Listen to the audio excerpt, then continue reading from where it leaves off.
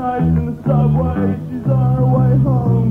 She tries not to roam, but she feels she's not alone. The echoes of footsteps follow close behind, but she cannot turn around, turn around.